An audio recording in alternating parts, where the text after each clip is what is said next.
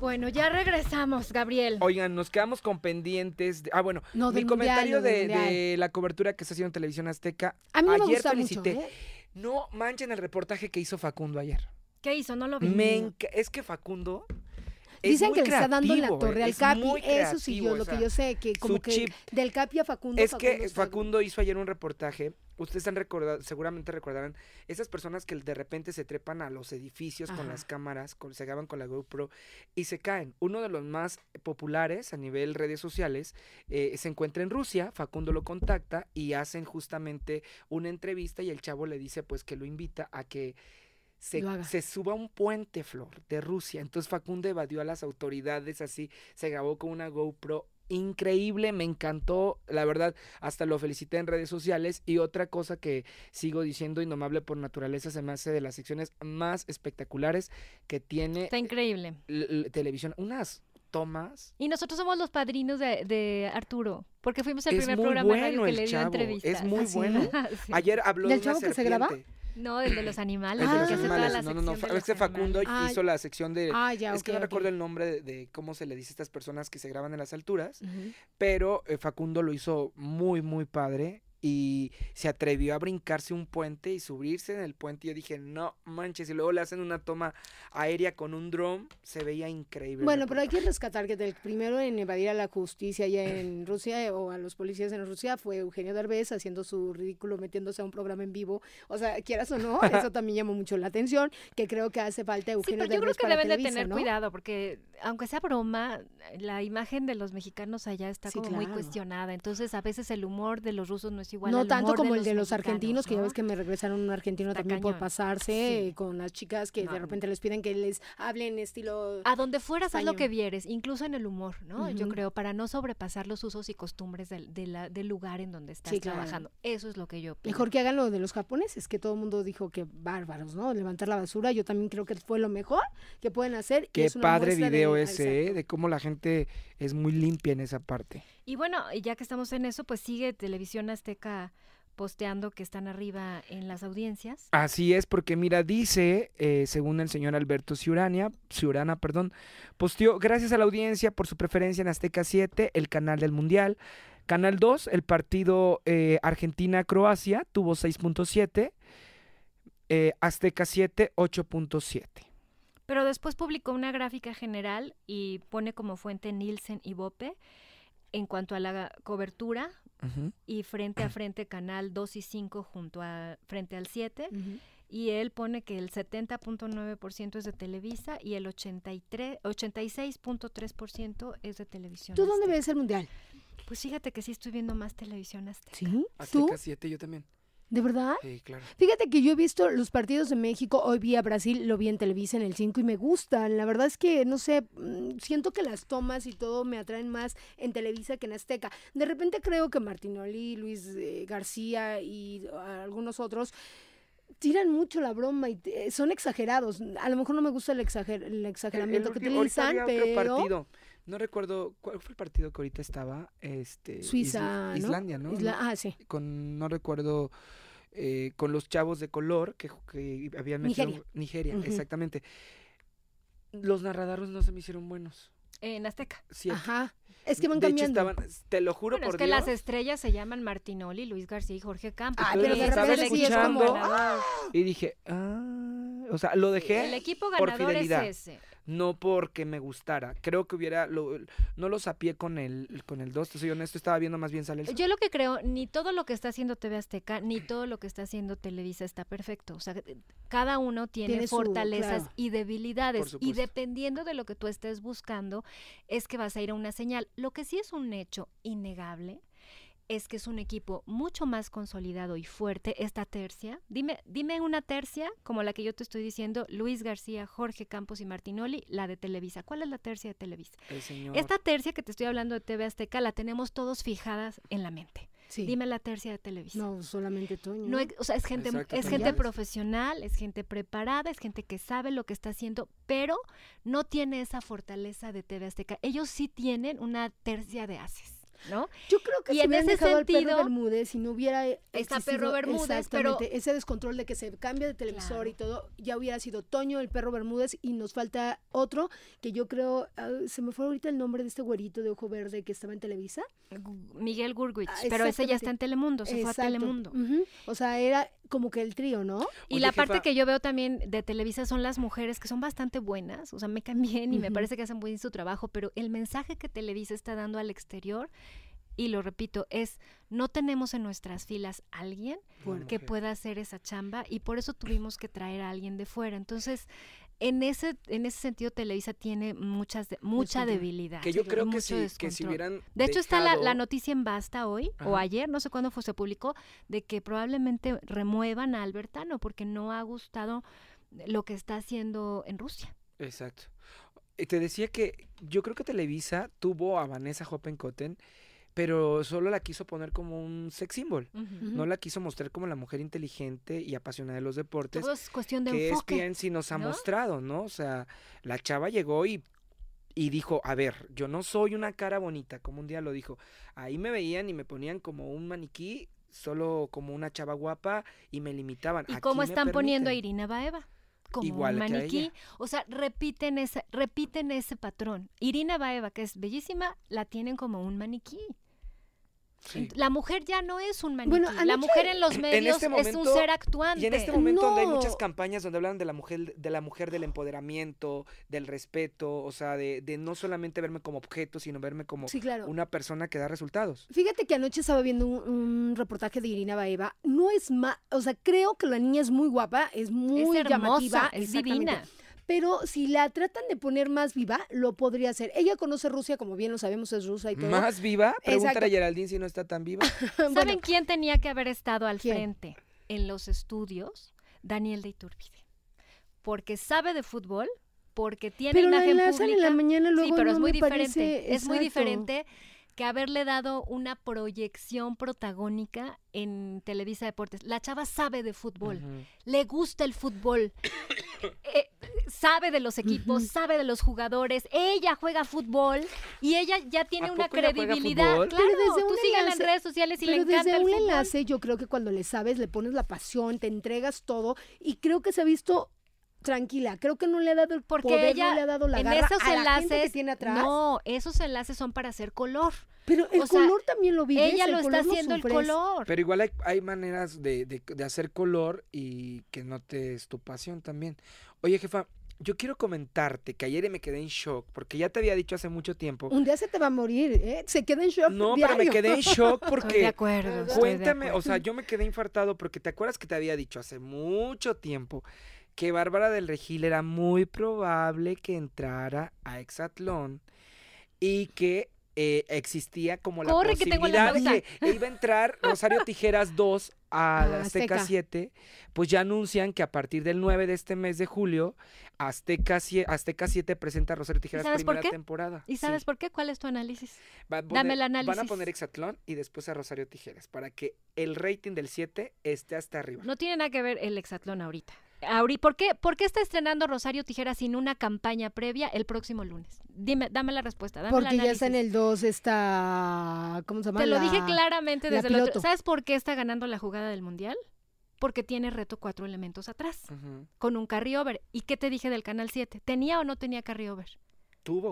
O sea, No, ya- ahorita tiene. No. ¿Y sabes cuál va a ser su carryover? Rosario Rosario Tijeras. Tijeras. Está, Televisa está ganando porque tiene un programa muy fuerte que se llama Reto Cuatro Elementos. Mm. Y Azteca dice, no me voy a esperar. Ahí te va Rosario Tijeras y mató dos pájaros de un tiro, te bajo, te compito con la mm, ¿cómo se Piloto. llama? La piloto y tengo un carryover Claro. para los protagonistas del mundial. Exacto. Claro. Eso les urge tener Pero, un ¿tú carryover para estar al la tú por primera tú. parte Pero- de la- pero Rosario- de Rosario Tijeras? fue no exitosa. Pero, sí, pero dicen Fue que... ok, muy exitosa. pero ya la viste, ya no es el mismo. ¿Qué prefieres ver? ¿Qué prefieres ver? ¿La piloto o Rosario Tijeras? La piloto.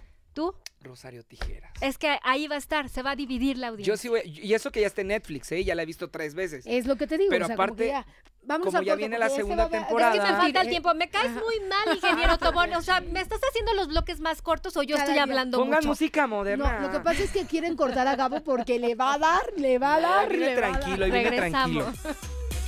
Estamos bailando ya porque mañana va a ganar México. Sí, como no, con mucho gusto a bailar y vamos a hablar de cine. ¿Va a ganar México mañana, Eric Elías? Claro. ¡Ah! Es mi cumpleaños mañana. Ah, ¿no ¿En serio? Sí. No. ¿Y el pastel?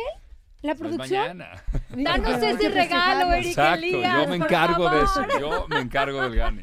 ¿Cuántos Sí. cumples? 15. No importa, ¿no? Yo me encargo de que va a ganar México. Vamos con todo. Yo creo que tres goles, cero, ¿no? Exacto, yo digo que 3-0. ¿Tú Yo, yo también 3-0, ¿Sí? ¿saben?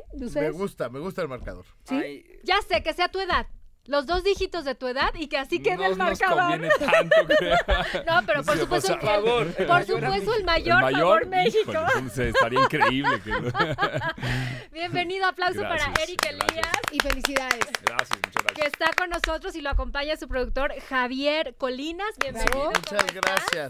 Que vengan a hablarnos de cine. Eric. Hasta me trabé. Cine mexicano. Cine mexicano, cine bonito, cine para toda la familia, muy divertido, una comedia romántica que estrenamos ya este jueves. Entonces, felices de que, que vamos a todas las salas, casi 800 pantallas que vamos a tener este, a partir del jueves. Entonces, muy emocionados de, de presentar este proyecto. cómo a ti te quería encontrar. Ah, es lo que te iba a preguntar. Ay, ¿Y ¿Te vas? imaginas que Eric Elías te diga, a ti A te quería te quería encontrar? Se oye padre, ¿verdad? Para Sí. cuando alguien, un galán te dice, a ti te quería encontrar. ¿De qué habla la película? Estaba Eric? buscando. Cuéntanos de qué habla la película. Pues habla justamente, yo creo que de la búsqueda de la identidad, ¿no? De cómo uno a veces tiene la presión social o de la familia de tomar una decisión, o uno cree que está como en el lugar correcto, con la persona correcta, y hay veces que, que es importante dejar ese, esa zona de confort y buscar en otros lados a ver qué es lo que realmente uno quiere. Y en el lado de a ti te quería encontrar se puede relacionar con el tema de, de a la pareja o, al- o el amor, pero también a uno mismo, ¿no? De como encontrarse uno mismo realmente de, de qué es lo que quieres y atreverse a vivir. ¿Quién es la susodicha? La susodicha, hay dos susodichas, pero Ajá. la susodicha es este, Erendira Ibarra por un lado y Pauleta Hernández por otro lado. ¡Ay, padrísimo! Javier, tú eres el productor de esta idea. Director y también Ajá, coproduje. Sí. Ajá. Cuéntanos un poco. Pues mira, la verdad es que muy contentos, muy emocionados. Creo que es una historia muy actual eh, de romper paradigmas sociales, de realmente cuestionarnos el hecho de que el que tiene que vivir con las decisiones de tu felicidad eres tú. Entonces, todo el mundo se siente con, la, con derecho de opinar sobre nuestras vidas, pero no forzosamente. Oye, no nos los digas a nosotros, ¿eh? que siempre decimos, ¿por qué dejó? Le puso el cuerno al marido. O sea, Sí, sí, no, no, me no. pasa últimamente. Hay formas, ¿no? Hay formas. Claro que hay formas. Y aquí es la historia de, de Diego Cuenca, por Eric Elías, que es el proceso de agarrar el timón de su vida, ¿no? Eh, tiene todo aparentemente asegurado, todo garantizado, la vida perfecta, pero pues de repente llega alguien, que es Erendira Ibarra, y le abre otro mundo. No, no, no nos metemos con juicios de si mejor o peor, diferente. Entonces hace que se cuestione si realmente lo que necesita es lo que le habían dicho que necesitaba. Y de eso se trata la película. Es, es romance, eh, hace mucho no, no hay algo así de romántico como Claro. propuesta mexicana. Eh, entonces estamos contentos. Como que ha funcionado mucho la comedia, ¿no? De acuerdo, ahorita estamos, y la comedia nos está quedando increíble y me encanta, pero también hay que, o sea, el, el cine tiene muchos géneros y Claro. muchas formas y muchas maneras. Y creo que esta película es un tema actual de romance. eh, está de verdad muy fresca.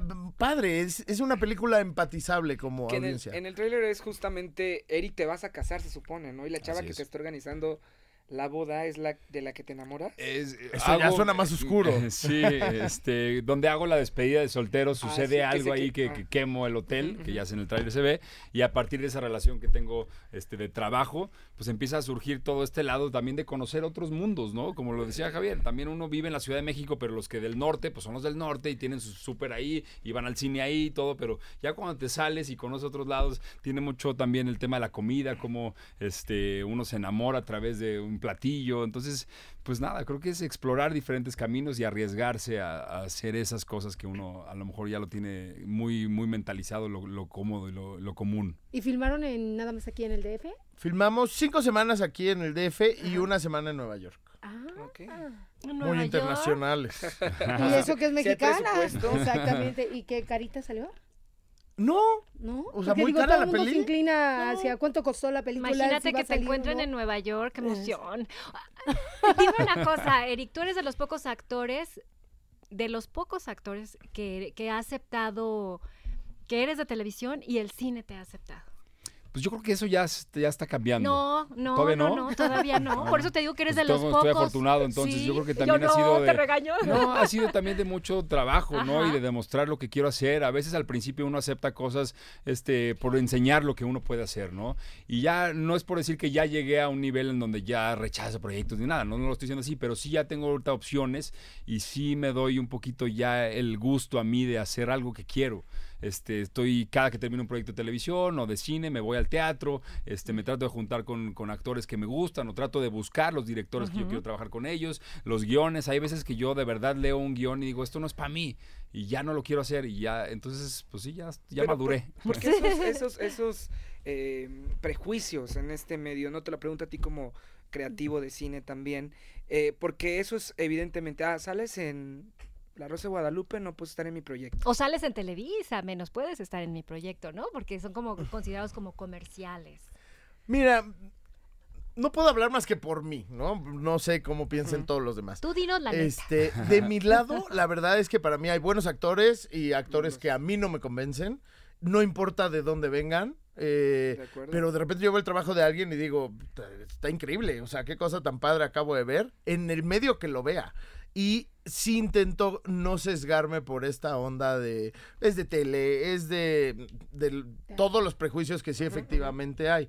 Eh, sí, de repente sí lo hay, sobre todo porque se creó como un, un estigma muy fuerte de que los actores de televisión eran siempre sobreactuados. Cierto. Pero bueno, pues también está el director y también el director puede trabajar con ellos y quien es un actor es un actor y debe poderse adaptar a, a- la forma de trabajo del director que tienen enfrente. Entonces, la verdad es que si yo siento que un actor tiene la capacidad de, de encontrar verdad en él mismo, es trabajable, esté en el medio que esté. Pero hay ocasiones que no se fijan, la verdad, en el talento, sino se fijan en la proyección visual. Al más. final también, o sea, al final es un, eh, sí es una expresión artística, pero es una industria y pues hay que hacer negocio y pues sí, de repente los productores te empiezan a decir, Y aunque lo quisieron pulir, veo en cartelera y digo, ¿qué es esto? Por favor, yo lo hubiera sacado. ah, ya sé de qué. No, hablas". sí, claro, o sea, Sí, pues sí, sí. Eric Elías, yo creo que ya me lo sacaron de las telenovelas y ya te encasillaron en el cine. Que creo que lo agradezco. pero Yo he visto muchas películas y creo que has cambiado todos los personajes que has hecho en todas, pero me parece que sí. y soy fan de. Straight, me encantó la Gracias, obra. gracias que Muy fuiste. chida, Muchas que gracias, decirte. gracias. Y es eso, arriesgarse a hacer cosas distintas también,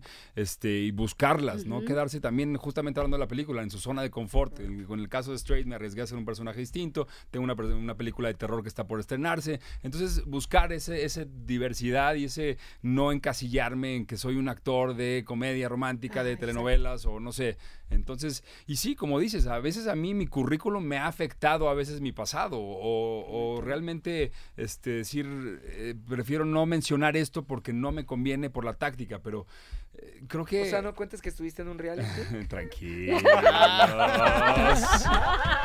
Sereno. Total, si me googleas ya valió. Pero, pero es trayectoria, Pero de es y trayectoria y uno avanza. Y Pues sí. si Cantante también, ¿no? ah, Claro, Cantante. intentó, intentó. Somos honestos. Oye, no nos, no No, nos, ay, no me arrepiento. no nos subas el switch porque te conocemos de, todos No, lados. hombre, no, Sabemos no. tu currículum. No, y he pasado de todo y he aprendido muchísimo, eso de es verdad. Y padre. uno va encontrando su camino también. cómo has no es desmeritar a nadie ni cualquier género, como lo dice Javier, en, en el género de las telenovelas, en cuanto a producción, dirección, iluminación, toda gente bien, bien talentosa. Hay de todo en todos lados. De todo. Díganme cuándo, cómo, dónde, antes de cerrar, por favor. ¿Cuándo es el 28 estreno? de junio Ajá. en todos lados. O sea, es un estreno nacional en todas las cadenas de cines y a ti te quería encontrar. ¿Buenas salas? ¿Cuántas salas llevas? Vamos con 800 salas. Muy bien, buenas. Muy bien. Muy buenas. 800 salas, próximo jueves. Ya este jueves es este es semanas complicadas de mundial, de, eh, votaciones, de todo, Claro. entonces es un Sí. buen pretexto y un buen plan para ir a votar o ir a ver el partido. No, para irme a relajar y después de todo. echar una porque es para toda la familia, de verdad ¿Sí? es para ir a echarse unas una buen este una peliculita divertida, bonita que se van a conectar con mucho lo que está pasando ahí. Y que el primer fin de semana, siempre lo decimos, es el más es. importante, Es ¿no? fundamental. De ahí depende. O sea, una muy buena película que no logre jalar en el primer fin de semana va a desaparecer. Aunque sea una joya. De verdad es fundamental. Algo que vayamos a ver en la cinta como que nos enganche. Miren, muchas cosas, de verdad, van a ver un recorrido gastronómico bien bonito. Una ciudad de México del que todo mundo va a salir muy contento y con ganas de salir a visitar lugares. Y de verdad, un elencazo y actuaciones magistrales. O sea, es una película muy honesta y muy buena. Gracias, Enrique Gracias a Díaz. Gracias. Javier. Y mucho gracias. éxito. Que no se pierdan igual. esta cinta a partir del próximo A jueves. partir del jueves. Aplausos para los ¡Bravo! Regresamos a Fórmula Espectacular y en este momento, como le habíamos anunciado al inicio del programa, tenemos a la productora Magda Rodríguez en la línea. Magda, ¿cómo estás? Buenas tardes.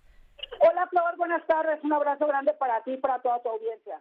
Muchísimas gracias. Le, le explicábamos a nuestro público hace un ratito, pues el reclamo que le hacías a Gabriel con respecto a un trascendido, del cual él habló hace un par de días, con respecto a que el programa hoy podría terminar en el mes de agosto. Y bueno, ejerciendo el derecho de réplica, querida Magda, ¿nos quieres contar si esto es verdad o no?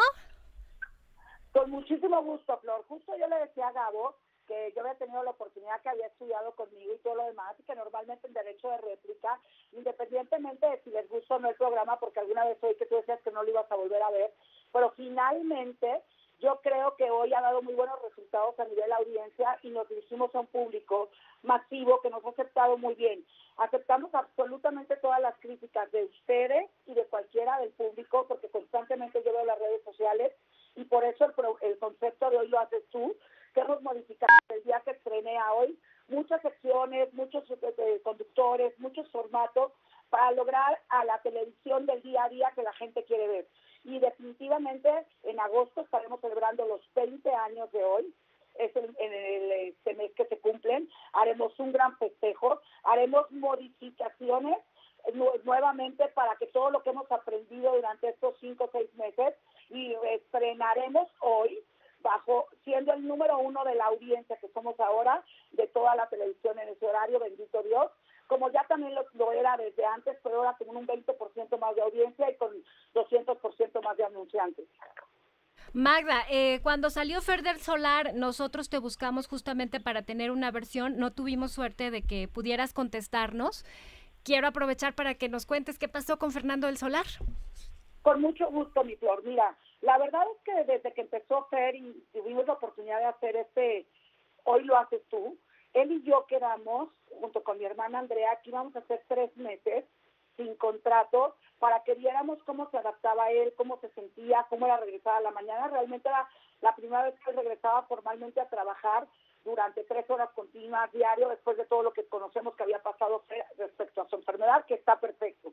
Le fue muy bien, estuvo muy contento, eh, el público lo aceptó mucho, pero al lapso de estos tres meses, él empezó a adquirir muchísimas conferencias. Nos vino la oportunidad a nosotros de hacer hoy mundialista, donde estamos teniendo diferentes horarios en esta parrilla durante este mes, y él ya tenía muchos compromisos previos adquiridos, por los que decidió con otra oportunidad que tiene que no quiso compartir en este momento porque es muy cabalista y siente que no debe decirlo, pero que tiene otra cosa por delante, que era un buen momento para cerrar este ciclo. Lo habló conmigo, con lo cual yo lo apoyé porque yo creo que todos venimos a ser felices y lo primero que tienes que estar es pleno y haciendo lo que quieres y se pone el mejor de los términos tanto con el programa como con nosotros.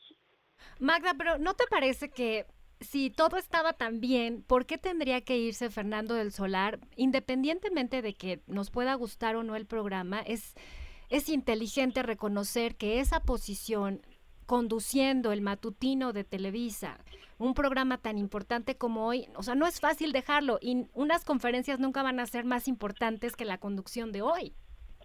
Yo también así lo consideré y así lo hablé con él, pero finalmente todos y cada uno venimos a ser felices y creo que en este sentido este lo tenemos que establecer para que de cierta forma, o sea, cuando él se sentó en mi oficina, lo habíamos hablado un mes antes, y me dijo, Magda, me quiero ir, yo me recordé mucho cuando yo me senté en otra oficina y dije, me quiero ir. Entonces creo que uno cuando tiene un sueño y quiere perseguir otras cosas, uno tiene que dejar que la gente vaya tras de ellas. La vida es muy corta. Finalmente, a, a veces aprendemos, este, yo en estas últimas dos, tres semanas, gente a la cual respeto y quiero mucho, eh, de pronto este, dejó de existir. Entonces yo estoy muy abierta a que la gente haga lo que sueña, lo que quiera, y finalmente si él tiene un sueño de ir a hacer algo, contó con mi apoyo absoluto, dejamos la puerta abierta para que en un momento dado, tanto él y nosotros podamos trabajar ya sea en hoy o en otro programa. Magda, entonces para acabar con los trascendidos, ¿no es cierto que Televisa te pidió que lo retiraras del programa? No, Eso sí te lo puedo decir absolutamente que no. Hoy Fernando del Solar inclusive pone los extraños de Rodríguez y Negro Araiza, ahora con quién voy a ver el Mundial, besos y abrazos. O sea, sí te puedo decir que Fer, además de que es una, una persona a la que yo quiero hace 20 años, un hombre al que respeto como conductor, un, un compañero, porque la amistad a lo mejor luego la, gente la mal confunde, pero sí lo quiero, y nadie, te puedo decir que los ejecutivos de Televisa les encanta lo que Fernando del Solar hace como conductor. Yo estoy segura que muy pronto lo veremos haciendo cosas aquí y, y, no sé si en hoy o en otro o en otro esquema, pero yo creo que Fernando llegó a esta empresa para quedarse como muchos otros así han llegado. Tampoco es cierto que no fue bien recibido por los conductores base del programa. Fíjate que él tenía una muy buena relación con todos. Al principio, que yo creo que hay de, se, vienen de eso, de pronto ellos tienen 20 años y son más amigos. Más amigos son ellos de ellos mismos que de todos nosotros. Pero a nosotros nos tratan muy bien, nos reciben, son muy cordiales y muy cariñosos. Te puedo decir que la verdad, en el caso también que se estaba especulando que Mauricio Mancera salía esta semana o tal, que él sí tiene un contrato por delante con este programa por un año, este te puedo decir que no, salvo que en un momento dado le lleguen otras oportunidades, como cualquiera de todos nosotros nos pueden llegar, yo estaba muy contenta, en otro lugar me llegó esta oportunidad y me vine, pero realmente ahorita estamos muy contentas haciendo lo que estamos haciendo y logrando este que el público masivo reciba el programa de hoy de una manera muy cálida y que cada vez se adapten más a los cambios que hemos hecho. Yo también me modifiqué y me eché para atrás. Yo había hecho cosas y me regresé para entender a la audiencia, porque la audiencia de un momento dado de Televisa es una, una audiencia que tiene muchos años viendo la mañana y a la que yo respeto profundamente y estoy tratando de querer y entender. Magda, te saluda Gabo Cuevas. Dos preguntas. Hola, Gabo. ¿Qué son los cambios que vamos a ver en el mes de agosto? Y sobre la, la salida del maestro Gudini, ¿qué nos puedes decir al respecto? De los cambios del mes de agosto todavía los sigo, este, eh, eh, no los tengo claros, sigo trabajando, ahorita estamos haciendo el mundialista, que estamos teniendo unos niveles de audiencia buenísimos. Me voy a ir a hacer todo verano un programa más más eh, sencillo y coloquial para todos los niños que se incorporan en estas vacaciones, como lo hacía de pronto en otros programas que me tocó hacer, ya sea en Telemundo, en Azteca, en Univisión, que uno se relaja más, que seguramente ustedes también lo hacen en el radio. Y en cuanto a la salida del maestro Gudini, había una sección que se llama El juicio de la telenovela, había unas indicaciones precisas que en un momento dado a lo mejor él no estuvo de acuerdo. Yo también estoy, que si algo no les parece del formato que estamos siguiendo, yo respeto muchísimo la trayectoria. Grini trabajó conmigo en Consejo de Mujer hace muchos años, conozco su trabajo, conozco lo mucho que sabe de las telenovelas, pero en este programa lo que nosotros queríamos hacer es algo un poco más relajado y más cercano hacia los, la, la, los televidentes millennials y finalmente si él no estaba tan de acuerdo en este tipo de cosas, también lo respeto profundamente. Magda, y, y finalmente quería aclararte, cuando se da un trascendido de que un programa sale o no sale del aire, para mí es un tema bastante incómodo porque es un trascendido. Por esa razón no me gusta molestarte, porque finalmente son trascendidos que lees en redes sociales o que te dice una u otra persona, no por el, el poco interés que tengamos en buscarte, tenemos, te tenemos a la mano, sabemos que, que podemos contar contigo y tarde o temprano te encontraremos en una alfombra o en alguna situación para podértelo comentar. Entonces, muchísimas gracias por tomarnos la llamada, pero sí hacerte saber que siempre tenemos la mejor disposición y aunque no siempre el mejor comentario, siempre lo hacemos porque queremos verte trabajar y triunfar. Y si algo no nos gusta, no lo decimos para molestarte, sino porque creemos que puede aportar para este hoy que tú estás construyendo. Yo les agradezco muchísimo a ustedes, al público, a las redes sociales, cualquier comentario que tengan respecto a hoy. Tan es así que es la promesa de hoy lo haces tú. Y sin embargo, siempre estaré dispuesta y estoy de acuerdo que no les gusten cosas. Y si hay cosas que me lo ha comentado Maxine, tú y tal, inclusive una vez me dijo, no me gusta el casino de los espectáculos, lo vi, no iba, no iba de rating normal y he quitado cosas que en un momento dado no tuvieron la aceptación o no me quedaron como las pensé o en algún momento dado había que trabajarlas más. Yo creo que la televisión, lo importante es que algo que hemos tenido tanto mi hermana como yo siempre es trabajar todos los días, modificarnos y tratar de oírlos a ustedes, a nuestra audiencia y obviamente tratar de hacer el mejor programa en beneficio tanto de nuestros clientes como de quien nos hace favor de vernos todos los días. Señora, ¿qué tal? La saluda Chabeli Huerta y nada más una duda y es, es un... Hola, mi amor, ¿cómo estás? Eh, muy bien, gracias. Es un trascen- trascendido de que dicen que se quedó sin director de, eh, de cámaras y que regresó al de Carla Estrada. ¿Es cierto? Eso es cierto y no me quedé. Eh, mi director de cámaras es el director de La Voz. Están arrancando las grabaciones de la, de la voz y entonces este, en un momento dado por los horarios que estamos teniendo no podía hacer los dos programas. Hoy inclusive está grabando, como todos deben saber, la voz y todo lo demás de arranca este periodo de todo lo que tienen que grabar. Entonces Eulalio se tuvo que ir y vino el director de Pablito Carazo que está trabajando conmigo a partir del lunes, es verdad, este y seguiremos modificándonos alrededor de eso y esto obviamente la gente que estaba trabajando que era él y su asistente se fueron a hacer la voz y vino Pablito a trabajar y estamos muy contentos obviamente adaptándose al ritmo y la rapidez que de pronto nos, gusta trabajar a nosotros pero estamos muy contentos con él Magda, te agradezco muchísimo. Buen fin de semana. Yo a ustedes también les mando un abrazo grande y gracias por la llamada Muchísimas Gracias. Pues ahí está Magda aclarando esta información que puso en controversia al programa, pero pues como siempre contestando todas las preguntas y esta es la versión oficial Claro. de la productora del programa. Y como bien. tales, salir de todas nuestras dudas, ¿no? Porque todos son trascendidos que de repente decimos, ¿será o no será? Vámonos. Que mejor. No quedó duda, ¿eh? Ya preguntamos de todo. Todo. Vámonos a la pausa, ya volvemos. Esta es para México que mañana juega frente a Corea y que deseamos de todo corazón que sea un gran resultado porque vaya que necesitamos buenas noticias en este país. Yo me voy con mi 3-0. 3-0 ¿Sí, plano. Hay que hacer quiniela, vamos. Yo digo Ajá. que 2-1, favor 2-1. México. Okay. 2-1, favor. La vamos a sufrir, pero vamos tú, eh? a ganar. ¿3-0? No, yo digo 2. 2-1, yo voy por el 2-1. Yo voy por mi 3-0. Ya, 2-0. estar- ya estaremos viendo, pero qué día tan padre mañana, ¿no? Ay, Porque sí. te reúnes con la familia, con la gente que es la quieres. marcha del LGBT. Pero es sábado y me tengo que desmañanar, igual que el domingo pasado, pero no importa. Pero está padre Sí, porque claro. lo puedes hacer en pijama o te pones la verde, desayunas rico en familia. Fíjate tomo que mi no tengo la cafecito. verde, jefa. Ay, o en la ¿cómo? camita. Ay, me ven- voy a comprar una pirata de esas de 70 pesos, no pasa nada. Ponte no, la verde. No, porque las originales están no carísimas. compres pirata, pero las rebajaron. Sí. Y, y hay algunos autoservicios que tienen, digamos que camisetas Un originales. patrocinador que nos quiera vestir con la verde de aquí a que termine el mundial. Hay ¿Cuánto unas que cuestan? empiezan con ¿Cuánto A, cuestan las de...? como 800 y aquí las pesos. trae, que Javier vende y que las trae aquí. ¿En Valen cuánto? Escriban por 300. WhatsApp. Ahora Bueno. sí que está como, ¿cuántos años tienes? Le damos la bienvenida, ya ha estado con nosotros el doctor Miguel Ángel Guevara. ¿Cómo Hola, ¿cómo están? Buenas tardes. Hola. Hola. Que ya se reconcilió con Gomita y es su íntima amiga. Otra vez, doctor, y ya le pidió otra operación. No, es que nunca hubo una. No, no. ¿No? No, este, por ahí hubo un I'll be back, pero no, no, para nada. Nos topamos en un programa y creo que fue divertido con Silvio Olmedo.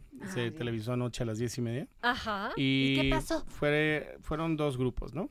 Silvio Olmedo fue la mediadora, la conductora, y, y primer grupo son tres personas totalmente en contra de la cirugía plástica, el por qué no te debes de operar. Y de mi lado estaba Araceli, eh, otra paciente, una paciente que de hecho estuvo en Televisa, que eh, tuvo una pérdida masiva de peso y que fue sometida a una cirugía estética y reconstructiva y su servidor. Entonces ahí tocamos muchos puntos en los cuales el por qué sí, el por qué no. Hubo un caso muy impactante de una de las personas en el equipo contrario que desgraciadamente fue sometida a lo que se llama enfermedad por modelantes, que es cuando se inyectan eh, aceite, eh, puede ser Castro, el Capullo, Pemex, Tun, Menen, el que tú quieras, ¿no? Y, Paréntesis, tengo una amiga famosa, luego les doy el nombre, que se le están poniendo las nalgas negras, doctor, y supongo que es porque es... no, y no es por nalgada. No, se lo juro. Algo malo le inyectaron, ¿no? Igualito que Alejandra Guzmán. Le está pasando lo mismo. Sí, es, es, es una enfermedad muy común en México. Desgraciadamente, hasta que no te sucede, te enteras. Sí hay muchos medios que lo han difundido, des- eh, pero es algo barato. Entonces, muchas veces el paciente se guía por el costo y paga el precio que es muy caro, que no nada más es Claro. tu estética, sino también tu salud, tu integridad y en ocasiones, desgraciadamente, su vida.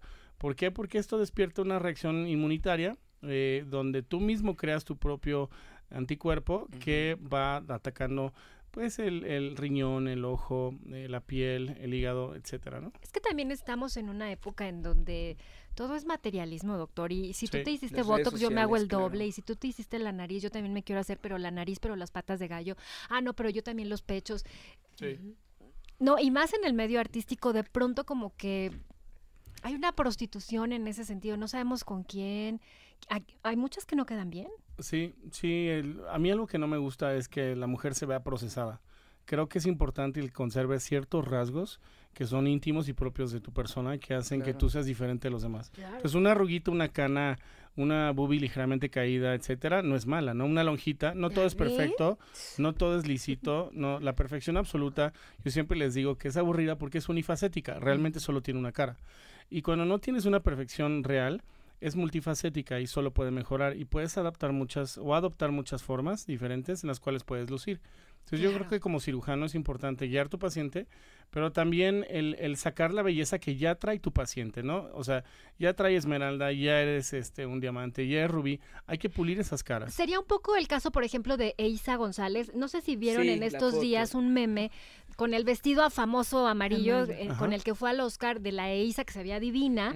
Y esa misma foto con el vestido amarillo, pero con la cara anterior, cuando, cuando era un una adolescente. vez. Ay, bueno. Y realmente, si tú ves el cambio, pues es realmente positivo. El de Isa Así González sí es muy notorio que se operó, pero el cambio es bastante positivo, quedó muy bonita.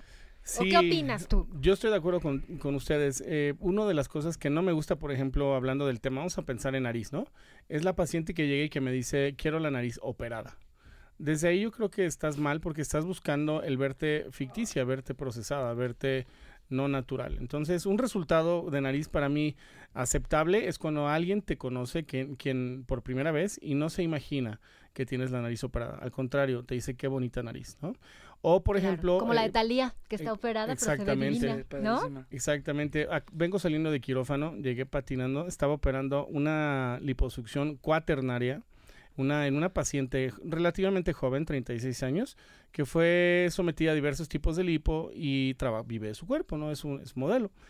Y pues desgraciadamente, como tú bien dices, los medios y todo van exigiendo que tú siempre estés eh, en tu mejor condición posible, física posible, pues me busca y llevamos a cabo una, una cirugía. Aquí eh, tuve eh, un, un doctor que vino a, ver cómo opero, ¿no? A- por parte de, de una máquina que yo ocupo que se llama Baser, un doctor de Irapuato, y, quedó muy fascinado porque el resultado fue una mujer muy delgada que tuvimos una extracción de casi 3 litros de grasa, pero lo más importante es que el resultado es, es muy natural y que no se ve operada y que finalmente esta mujer va a poder lucir un bikini donde se va a ver espectacularmente atlética, pero sin ver cuadros falsos, sin ver líneas. Oiga, doctor, y en los hombres luego el, o, o el mito de eres hombre, no, o sea, no te puedes hacer lipo, o sea, de que puedes, puedes, pero no es tan común como en el caso de las mujeres. Hoy por hoy, la cifra cuál sería en el caso de la belleza estética masculina? Yo creo que un porcentaje muy alto, sin embargo no lo platican. Y también gran parte de nosotros empezamos eh, por cosas muy eh, sencillas como el botox, como los faciales, pero sí hay mucho caballero haciendo, eh, sometiéndose a una liposucción. Eh, a- hoy en día la liposucción mar- a nivel mundial, la marcación, la famosa 4D, HD, Ujú. etcétera, se hace por en su gran mayoría la búsqueda es por caballeros, no es por damas. Que se la hizo a Víctor de Acapulco Shore, ¿no? Así es. Pero es más común que las mujeres te busquen, ¿no? Sí, en mi caso sí, yo creo que por el por el, el, el market, el, el- el tipo de gente que llega conmigo, es el- la mayor parte son mujeres, son damas y el caballero que me busca sabe que busca un resultado serio, no busca nada exagerado. Entonces sí, en mi caso sí es 95% mujeres. ¿Cómo saber cuando un doctor nos puede ayudar y cuando no, ¿no? O sea, Lo primero es que tenga la formación adecuada. pero ¿cómo sabemos? O Lo sea, puedes registrar, si lo me lo, puedes buscar. si me lo recomendó la amiga de una amiga que Y es baratísimo. y no sé qué. Consiguió un doctor. O es buenísimo Bueno, que te cobre las caro, pero me cobra ya caro están hasta deja en horrible. 500 O sea, pesos te en pongo un ejemplo. Si Sí, llega claro. hace unos años Alejandra Guzmán y me recomienda a su cirujano, pues le vas a creer, ¿no? Porque te lo recomendó Alejandra Guzmán sin saber todas las consecuencias que vendrían después. Lo primero es que tenga las credenciales necesarias, los cuales tú puedes averiguar en internet, ¿no? En el registro de profesiones, de cédulas profesionales, puedes buscar si tu médico realmente completó un programa único de estudios, el PUEM, de la universidad, este que lo certifica. Eso qué Y, importante y es. ahí ¿eh? puedes darte cuenta si acabó sus estudios, ¿no? A la- em, de ahí en fuera es buscar ante un consejo, en este caso el Consejo Mexicano de Cirugía Plástica, Estética y Reconstructiva, que también toda esta información es gratuita y está en internet. Ya que lo tienes, sabes que tienes una persona calificada, pero no sabes si puede operar. Oiga, doctor, y también... eh, Y luego, espérame, no acabó. O sea, y si Entonces- no sé si puede operar. Exacto, entonces ahí eh, una de, los, de las cosas erróneas de un paciente es basarse en eh, 100% en medios publicitarios. Es importante acudir a una consulta. Eh, en el momento que tú entras a un consultorio, tú eres una esponja y finalmente vas, vas a absorber cada momento, cada mirada, cada situación que pasa en tu entorno para darte cuenta si estás con una clínica seria, si tiene los, las instalaciones adecuadas y finalmente platicando con el médico es tener una explicación pues bastante extensa donde tú te sientas a gusto, desahogues tus dudas y también te enseñen fotos del antes y después, pero lo más importante es que también para mí tengas pacientes en vivo que, que puedas ver tú una comparación. Oiga, doctor, rápidamente, Mauricio vamos, Clark ¿eh? ya no se hizo la, la peneplastía porque descubrió que el doctor no tenía todo, todo como el proceso para hacerlo. ¿Lo ha buscado usted? No, no, no. ¿Se la haría? Sí, claro, yo no tengo por qué negarle la cirugía a nadie. Claro. Bueno, Pero pues ya nos bien. vamos. Busquen al doctor en sus redes sociales, doctor Miguel Ángel Guevara. Luego Gracias. seguimos porque siempre en espectáculos hay temas de cirugía Ay, sí, plástica las interesantes. adicciones, Sí, muy Claro. Que gane México mañana, ¿verdad, doctor? Hoy yo estoy a favor. Yo voy a operar a las 5 de la mañana para poder estar fuera del quirófano. A las nueve y media, claro. Si gana México, votos Digo, gratis si con les- el doctor. Ay, no, yo, Sí, yo no. por más bella que quisiera, a las 5 no me paro, Sí, no, no, yo sí, yo. voy- Marcador, doctor. Ay, yo digo que un 3-0. 3-0. Gabriel, repite marcador. 3, No, 2-0. dijiste dos- 2-0, dos- 3-0. 3 2-1. 2-1 igual Toboncito y también Dani. Gracias por habernos acompañado Saludos. y la alegría a todo lo que da. Vámonos así. Mañana tumbamos el ángel. El domingo en la televisión en vivo y el lunes de regreso acá en la radio. Buenas tardes.